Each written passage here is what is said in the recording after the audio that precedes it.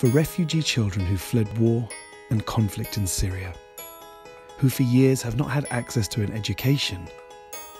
This is their right.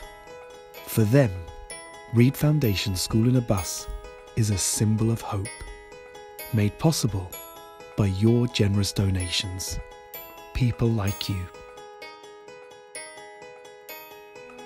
Was there ever a time that you came across a child who couldn't even recite the alphabet? Or even know how to read and write their own name? This is the reality for many Syrian refugee children. Children that we aim to reach with your help. READ Foundation School in a Bus travels far and wide, reaching children within the camps of Lebanon, from Arsal to Beqa. Managed by qualified teachers, School in a Bus is an actual mobile classroom. It's equipped with screens, interactive boards that are used in classrooms around the world, and it carries learning equipment and supplies for all students registered to attend.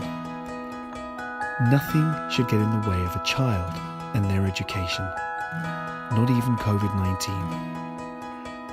Your generosity will make READ Foundation School in a Bus possible, providing refugee children with a safe space to recover from the psychological scars of conflict and a chance to be like other children once again, even if it's just for a few hours a day.